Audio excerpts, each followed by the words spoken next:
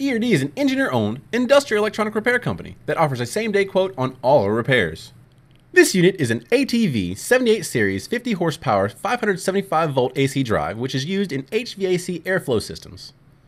This particular unit is actually a Vacon NXS series drive which Schneider branded with its own part number, something we find very common in a large range of products we repair. After we repair the unit, extra steps are taken to fully document the repair and to ensure proper operation for our customers. At ERD, we can repair your industrial electronic equipment, preventing a costly replacement and extended downtime. Thanks for watching ERD TV. We repair a wide variety of industrial electronic equipment that is backed by our three year warranty. If you have any questions, contact us by phone or visit us at www.industrialrepairstore.com.